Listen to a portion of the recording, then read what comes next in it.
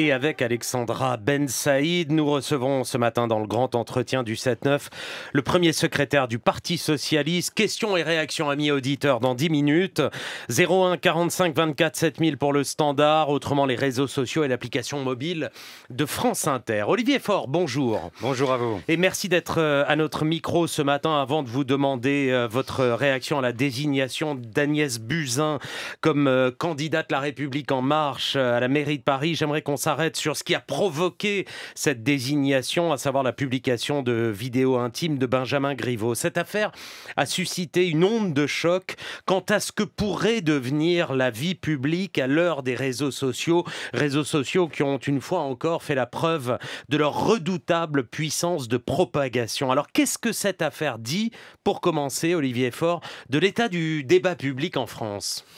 Elle dit deux choses. La première, c'est que évidemment, il faut condamner fermement la diffusion de ces images qui n'avaient pas vocation à être publiques, c'est une évidence, et ce n'est pas simplement le problème d'un homme politique. C'est valable pour toutes les Françaises et les Français, parce que c'est malheureusement euh, ce qu'on appelle maintenant le revenge porn, la, vengeance pornographique. Eh, bien, euh, c'est un sujet qui aujourd'hui est la cause euh, d'immenses malheurs pour celles et ceux qui en sont les victimes.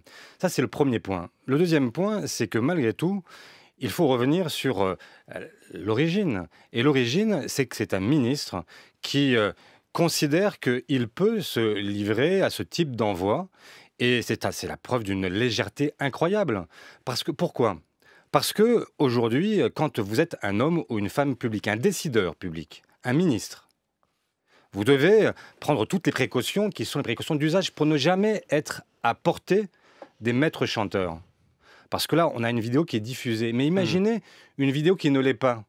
Et un maître chanteur qui en permanence revient vous voir en vous disant si tu ne prends pas telle ou telle décision, je diffuse. Donc homme, femme publique, euh, métier public, pas de vie privée. Non, ne jamais se rendre vulnérable. Une vie privée, chacun en a une, tant mieux, mais pas de légèreté coupable, parce que effectivement, c'est un sujet. Vous ne pouvez pas laisser, quand vous êtes un décideur, vous ne pouvez pas laisser penser euh, que vous êtes euh, vulnérable, que vous avez la possibilité. Imaginez que les services secrets d'un pays étranger détiennent sur vous un certain nombre de dossiers et donc euh, peuvent vous amener à prendre telle ou telle décision alors même que vous devriez être un homme libre et libre de prendre les décisions qui s'imposent du point de vue de la France. Et donc oui, je pense que pour un homme ou une femme publique, il y a une obligation qui est une obligation de... Ben, une obligation minimale qui est de ne pas se rendre, de ne pas se mettre à la portée des maîtres chanteurs. Donc là, pour vous, Olivier Faure, finalement, la seule barrière, le seul garde-fou, c'est un, la morale personnelle et deux, la jugeote. Est-ce que ça risque pas d'être un petit peu court?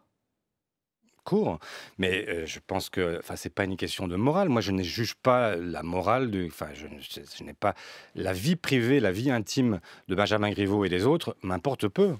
La seule chose qui m'importe, c'est que mon pays puisse être dirigé par euh, un gouvernement, par des ministres, un président de la République qui ne sont pas susceptibles d'être demain la proie de maîtres chanteurs. C'est aussi simple que ça. Et c'est pour ça que je dis la jugeote. Mais, oui, la jugeote. Mais regardez ce qui se passe aux États-Unis. Quand vous êtes président américain, vous n'avez même plus de téléphone personnel parce qu'on vous dit que vous êtes non seulement un être humain, bien sûr, mais vous êtes d'abord le président des États-Unis. Et donc, pendant cette période-là, on vous confisque tout ce qui est attribut personnel parce que vous devez vous mettre intégralement au service de l'État. Et c'est ce que je dis. Maintenant, évidemment, la première chose qu'il faut faire, c'est ait ceux qui, euh, aujourd'hui, diffusent ce type euh, de vidéos ou d'images, etc., et qui ne visent qu'à une chose, c'est à déstabiliser la démocratie. Et donc, il faut être extrêmement ferme. Mais, mais pour être vraiment ferme, il faut aussi que chaque chacun ait en tête que ces dangers existent et que nous sommes au XXIe siècle. Donc euh, il a fait une faute, euh, diriez-vous, il a fait une erreur? Ah ben, je pense que c'est une faute. Je pense que c'est une faute. Et ensuite, il y a un, crime, parce hmm. que c'est un viol de l'intimité commis hmm. par cet artiste russe, et qui, euh, évidemment, n'est absolument pas... Enfin, on ne peut pas relativiser le crime.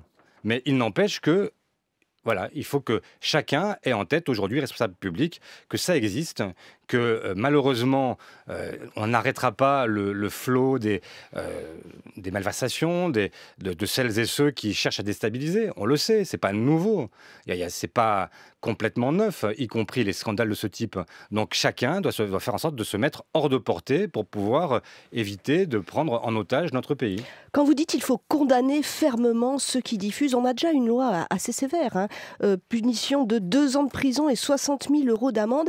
Est-ce que pensez, comme certains députés déjà, qu'il faut aller plus loin, qu'il faudrait peut-être par exemple punir également tous ceux qui non seulement mettent en ligne, mais qui diffusent au-delà?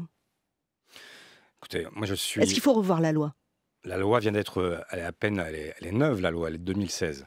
Donc euh, il faut peut-être commencer par l'appliquer et ne pas réagir systématiquement à chaud. Je vois qu'il y a des gens qui demandent maintenant qu'on supprime l'anonymat sur les réseaux sociaux. Je vois que c'est le concours l'épine une fois de plus. Moi je pense que à la fois Internet peut être un espace de liberté et qu'il faut préserver, un espace démocratique qu'il faut là aussi préserver.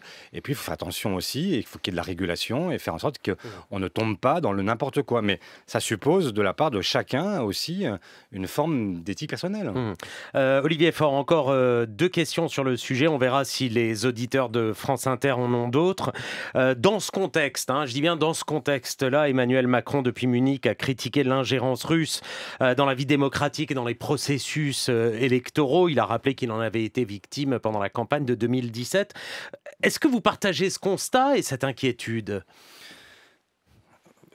Là encore, ce n'est pas tout à fait nouveau. Les moyens technologiques qui sont mis à disposition le sont. En revanche, des pays qui cherchent à déstabiliser, euh, et la Russie de Poutine n'est certainement pas la dernière, même si, euh, en l'espèce, personne n'en sait rien. Personne ne sait si Poutine est derrière cette histoire. On est avec euh, l'auteur de la diffusion est un opposant à Poutine. Alors peut-être a-t-il été retourné, peut-être est-ce une couverture, peu importe. Mais enfin, en tout cas, ce qui est certain, c'est que ces menaces existent, et c'est la raison pour laquelle nous devons tous tous en avoir conscience et faire en sorte de ne jamais être rattrapés par euh, tel ou tel scandale. Mmh euh, donc, conséquence de, de, toute cette affaire, euh, la désignation d'Agnès Buzyn comme tête de liste à l'REM pour les municipales à Paris. Quelle est votre réaction à cette désignation? Bon, la surprise. La surprise parce que elle était à votre micro vendredi la matin. semaine dernière. Et euh, elle répondait à Libadou, elle répondait qu'elle n'en avait pas le temps. Et puis, euh, je vois que deux jours plus tard, finalement, tout à fait cessante, elle abandonne le coronavirus, euh, la crise à l'hôpital, les retraites, et elle considère que désormais, sa vie, c'est Paris. Paris vaut bien une crise.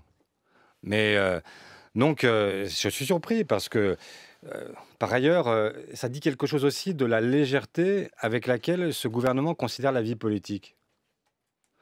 C'est incroyable de penser que c'est uniquement un casting. Moi, j'ai l'impression parfois avec La République En Marche qu'on est en permanence en train de se faire The Voice. Et donc, euh, expliquez-vous pourquoi? Mais tout simplement parce que la question, on a passé un week-end avec un week-end de casting, avec euh, qui peut être celui ou celle qui fera diversion et qui permettra d'oublier euh, l'affaire Griveaux pour passer à autre chose. Et donc, on a une ministre qui était en fait en place, qui avait besoin, enfin qui était, enfin, je vois les réactions, y compris euh, du monde de la santé, qui disent mais c'est incompréhensible. On a quelqu'un qui est en train de négocier, qui est en train de discuter, et puis voilà, elle s'envole. Et euh, donc euh, elle disparaît pour aller à Paris, et ça laisse penser aussi que Paris, en fait, vous pouvez en l'espace de quelques heures vous improviser maire et que vous pouvez vous improviser candidat à une ville qui est la ville capitale. Vous ne croyez pas avoir vous ne croyez pas qu'elle peut rebattre les cartes? C'est ce que nous disait la, porte-parole de La République En Marche, qu'elle a la capacité. Je comprends que la porte-parole de La République En Marche vous dise que c'est une bonne idée. Et moi, je ne remets pas en cause d'ailleurs euh, les qualités personnelles d'Agnès Buzyn. Ce n'est pas le sujet. Mais euh, est-ce que vous pensez sincèrement que euh, on peut devenir maire comme ça, sans y avoir jamais réfléchi, sans avoir jamais été même conseillère municipale de Paris? J'ai entendu sa déclaration hier. Elle dit qu'elle y a habité depuis longtemps et qu'elle y a élevé ses enfants, à peu près comme euh, la moitié des Parisiens au moins. Hmm. Est-ce que ça suffit à qualifier quelqu'un pour diriger Paris? Je ne le crois pas. Il y a eu un précédent en la matière euh, pour l'élection présidentielle en 2017. Emmanuel Macron. Je ne crois pas qu'on puisse dire ça. Emmanuel Macron avait. Il avait déjà, avait-il déjà été élu? Avait-il déjà mené campagne euh? Ah non, mais c'est pas le fait d'avoir mené campagne ou d'avoir été élu. C'est le fait d'avoir une expérience de l'État. C'était le cas pour Emmanuel Macron, en l'occurrence. Il avait été ministre, il avait été conseiller euh, du président de la République. Mmh. Et donc, euh, il y avait, en l'occurrence, matière à penser qu'il avait pu réfléchir au sujet. Et puis, il n'est pas parti un mois avant l'élection présidentielle. Là, on a quelqu'un qui va certainement prendre les chaussons de Benjamin Griveaux et qui va reprendre son projet. C'est complètement, enfin, c'est complètement mmh. fou. Est-ce que vous pensez, Olivier Faure, comme certains, que finalement Benjamin Griveaux n'aurait pas dû démissionner? Oui, je le pense. Je pense que si on dit que on ne doit pas déstabiliser, on ne doit pas se laisser déstabiliser par ceux qui euh, ont choisi de mettre en danger euh, la démocratie, eh bien dans ces cas-là, on ne cède pas c'est incompréhensible d'avoir un discours qui est de dire on ne cède pas et en même temps de céder. Parce que non seulement Benjamin Griveaux démissionne, mais en plus vous avez maintenant une ministre qui était en charge de dossiers essentiels qui elle-même démissionne pour pouvoir être candidate. Et pire encore, vous avez celui qui était rapporteur du projet de loi organique à l'Assemblée qui démissionne pour pouvoir devenir ministre. Donc vous avez en fait une, espèce de jeu de domino incroyable. Au fond, bah, ce qui a gagné En fait, c'est lui qui a réussi à déstabiliser la démocratie puisque avec une vidéo, il a réussi à faire un strike. Il fait tomber en fait euh, trois quilles. Là où euh, logiquement, Benjamin Griveaux aurait dû euh, demeurer et dire bah, écoutez, ça regarde ma vie privée et de toute façon, je ne céderai pas. Est-ce que pour autant, vous voyez, vous décrivez hein, ce, jeu de chaise musicale, mais est-ce que pour autant, finalement, vous voyez euh, une vacance du pouvoir? Il y a en effet maintenant euh, Olivier Véran qui devient ministre de la Santé, c'est un homme qui connaît ses dossiers? Oui, sans aucun doute. Mais enfin, vous savez très bien que quand on devient ministre, on prend le temps de commencer par consulter, on commence par auditionner, on, on prend la mesure de son ministère. On ne devient pas ministre en une semaine en réalité. Et chacun le sait aussi. Il faut du temps. Il faut même du temps pour devenir député en réalité, pour devenir maire. Et donc, euh, laisser penser que tout le monde est remplaçable en quelques secondes et qu'au fond tout ça n'a pas d'importance, c'est quand même aborder la vie politique avec une grande mmh. désinvolture. Passons à la, à la, réforme des retraites, Olivier Faure, qui arrive aujourd'hui en débat à l'Assemblée nationale. Un mur de 41 000 amendements est à franchir. C'est presque le double de ce qui avait été déposé euh, devant la commission spéciale de, de, l'Assemblée nationale. Laurent Berger dit que ces montagnes d'amendements sont des postures politiques qui empêchent l'amélioration euh, du texte et donc du sort des, des, des salariés. Alors soyons clairs, le but de ces manœuvres, c'est ensevelir la réforme des retraites ou l'améliorer? Écoutez, je vais parler pour nous-mêmes, pour les socialistes. Et en l'occurrence, nous avons déposé 1000 amendements. Hmm. Donc, euh, nous n'avons pas cherché à faire une montagne, nous avons cherché à avoir le débat au fond. Moi, je veux le débat au fond. Je veux que nous puissions aller jusqu'au bout de la discussion. Pourquoi? Parce que ce projet, la réalité, c'est que c'est un projet qui est un projet improvisé, un projet qui, euh, euh, en réalité, ne, ne permet pas d'assurer avec sérénité l'avenir de notre système de retraite. Et c'est un système qui, par-dessus le marché, est injuste. Et c'est la raison pour laquelle moi je souhaite que le débat parlementaire permette aux Françaises et aux Français de comprendre article après article, amendement après amendement, ce qu'il y a, ce qui se cache derrière. Parce qu'aujourd'hui, on est dans une bataille de slogans, avec, euh, euh, on dit, euh, pour ou contre les points. Ben moi, je voudrais qu'on dise pourquoi le système qui nous est proposé est un système qui est vraiment injuste, pourquoi c'est un système qui est vraiment improvisé, et pourquoi ce système-là ne va pas nous garantir quoi que ce soit, mais au contraire mettre en difficulté mmh. ce qui est un, ce qui est l'assurance pour chacune et chacun aujourd'hui de partir en ayant une retraite euh, qui permette euh, de faire face à ces vieux jours. Ces défenseurs disent au contraire que c'est le système actuel qui est injuste hein, et que cette réforme à venir, qui est le texte qui est euh, à l'Assemblée aujourd'hui, finalement capte de l'argent auprès des cadres supérieurs et qui va les redistribuer ben, aux femmes, aux plus modestes, aux carrières plates.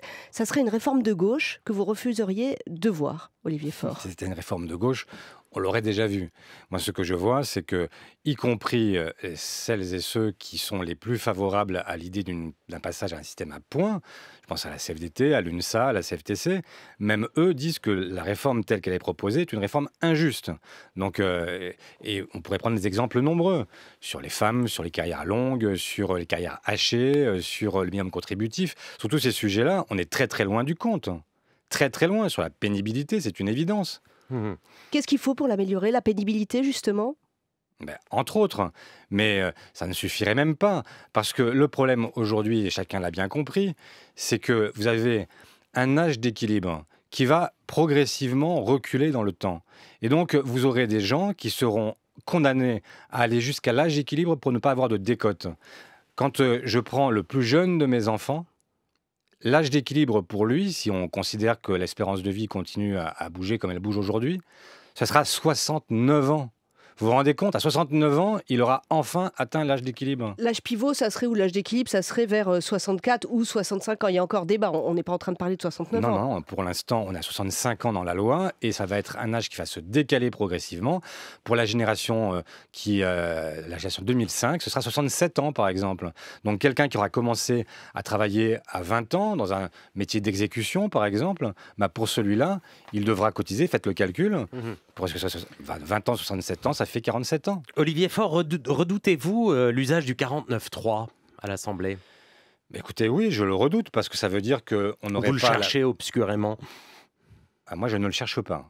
Moi, je suis, euh, je l'ai été dans le précédent quinquennat, je suis contre le 49-3. Je pense que ça tue le débat parlementaire et que nous devons au contraire aller jusqu'au bout. Ce n'est pas n'importe quelle réforme, c'est une réforme qui va conditionner l'existence de génération et de génération. C'est une réforme dite systémique, on change de système ça suppose d'y passer un peu de temps, non? Ce mmh C'est pas normal de considérer que tout ça peut se faire en quelques heures. Et c'est pas, là encore, la légèreté du gouvernement. On a, en fait, euh, enfin, vous vous rendez compte que sur ce projet qui est présenté comme le, la mère des batailles, vous avez d'abord un ministre qui démissionne, Delevoye. Après, vous avez une ministre qui démissionne, Agnès Buzyn. Et maintenant, vous avez le rapporteur qui démissionne, Olivier Véran. Enfin, c'est et tout ça, on nous dit maintenant, et maintenant, il faut y aller au forceps. Allez, on y va, on y passe. Alors même que. Alors, il faut faire quoi Retirer Vous, vous proposez un, référendum. Bernard Cazeneuve, qu'on avait à ce micro la semaine dernière, dit qu'il faut réécrire ce qu'il appelle euh, un brouillon. Euh, je partage ce que dit Bernard Cazeneuve. Donc, il faut réécrire le brouillon ou faire un référendum ou je sais pas, ou les deux. Je vous pose ah la bah, question. S'ils ne veulent pas réécrire, la moindre des choses serait de soumettre à référendum. C'est ce que nous dirons ce soir avec l'ensemble de la gauche en proposant une motion mmh. référendaire. Et puis, si euh, ils sont prêts à réécrire, dans ce cas-là, on évite le référendum, mais par contre, on réécrit, on négocie pendant de longs mois. Mmh Parce que pour l'instant, on nous dit, euh, pendant deux ans, on a concerté, mais concerté avec qui et comment En fait, personne n'est d'accord. Ça prouve bien qu'ils n'ont pas abouti sur un sujet comme celui-là, qui est l'œuvre, au départ, rappelons-le, du Conseil national de la résistance. Eh bien, il y avait un consensus.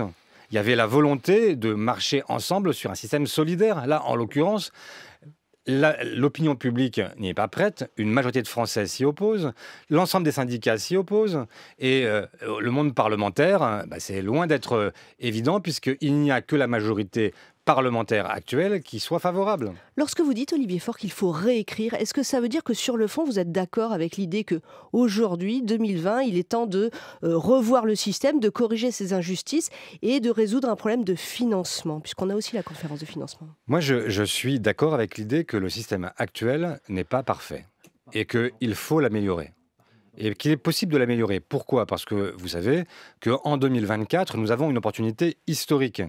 Pour la première fois depuis des décennies, le fameux trou de la Sécu sera intégralement comblé. Les Français auront intégralement comblé, mmh. grâce à ce qu'on a appelé la CADES, eh bien, auront intégralement remboursé la dette sociale.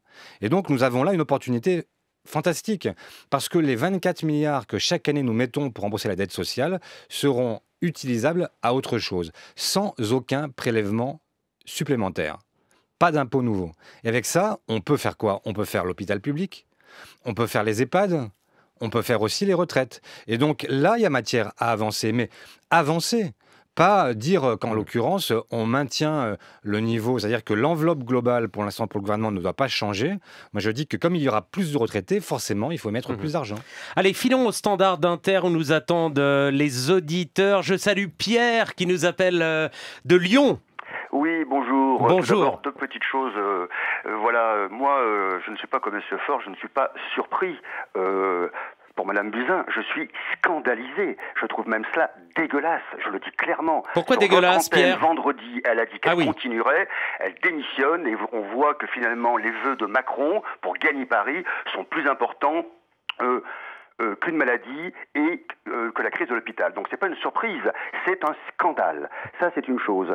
Deuxièmement, et euh, pour M. Griveaux, que tout le monde pleure aujourd'hui, moi je suis désolé, je n'oublie pas qu'il a été le porte-parole d'un gouvernement, le porte-parole d'un gouvernement qui a méprisé des gilets jaunes, qui a parlé de foulineuses et de peste brune. Mmh. Donc ce qui lui arrive, je vais être très clair, c'est bien fait pour lui. Je suis vraiment content.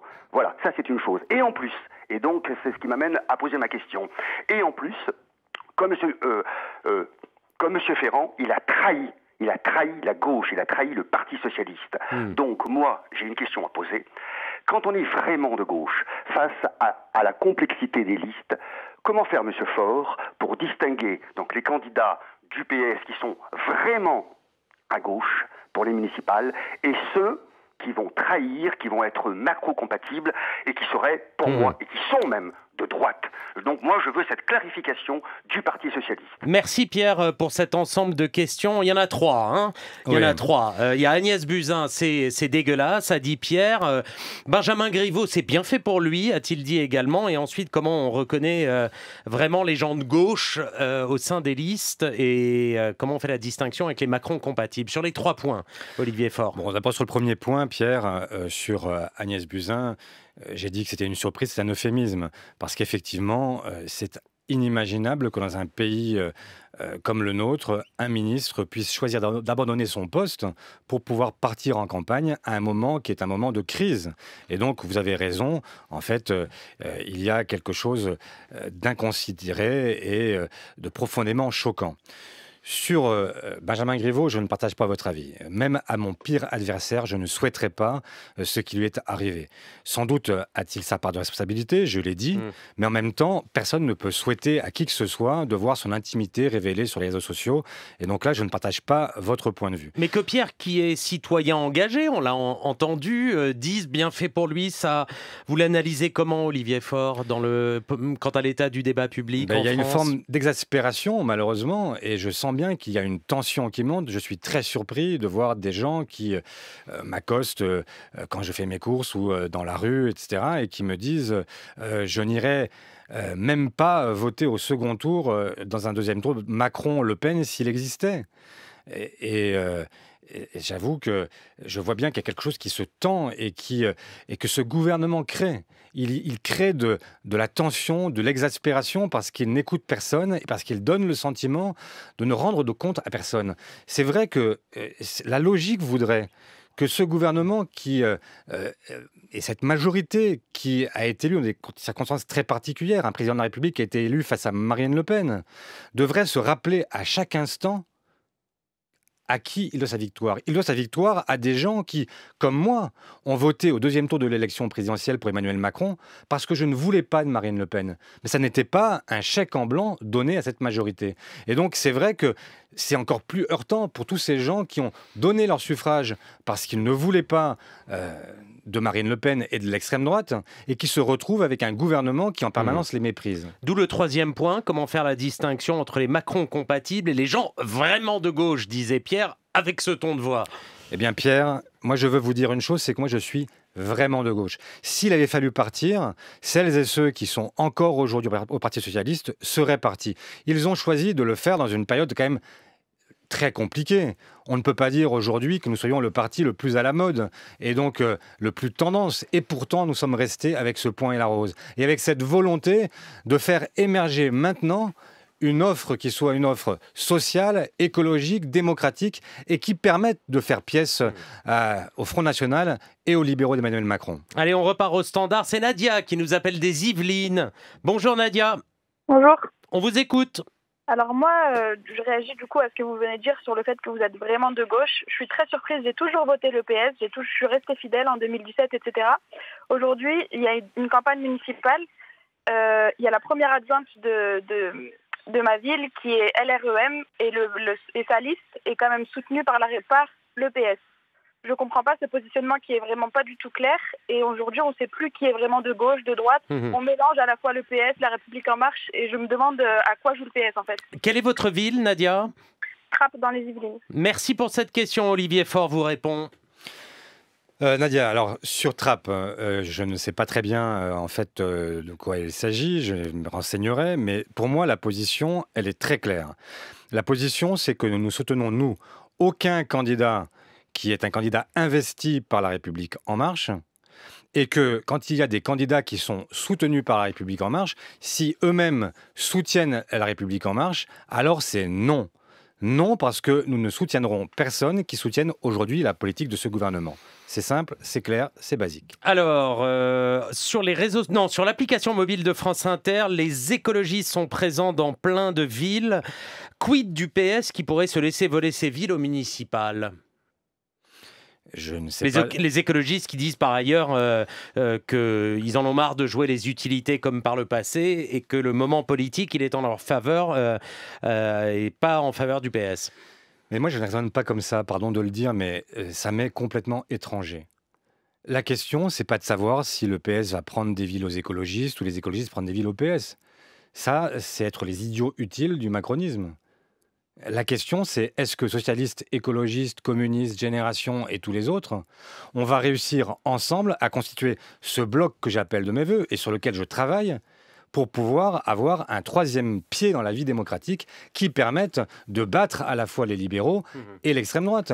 Quel est le sens de dire ah, je suis super content, j'ai battu un écologiste Mais moi, j'ai pas du tout envie de battre un écologiste. J'ai envie de faire en sorte que les écologistes et moi, nous nous retrouvions pour pouvoir bâtir cette grande offre politique. Faire en sorte que le 21e siècle accouche de cette grande formation. Mmh Imaginez, il y a un siècle, c'était une question un peu différente. C'était le mouvement ouvrier, très divisé.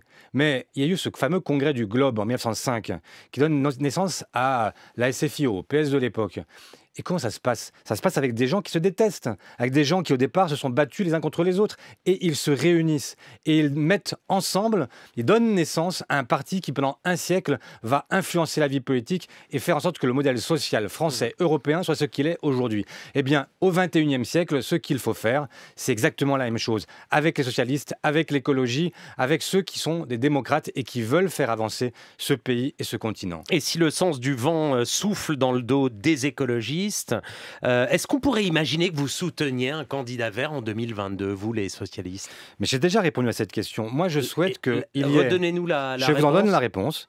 Euh, je vous dis que moi, je souhaite donc un bloc social, écologiste et démocratique, et que dans le cadre de ce bloc, on puisse trouver le meilleur ou la meilleure, mmh. quelle que soit son origine. S'il était avant écologiste, m'est égal. Si tu socialiste avant, tant mieux parce que ça correspond davantage à ce que je suis. Mais je n'ai aucun obstacle de principe à ce que ce soit l'un ou l'autre. Olivier Faure, merci d'avoir été au micro d'Inter ce matin. Je rappelle que vous êtes le premier secrétaire du Parti socialiste. Merci, merci encore. 8h47.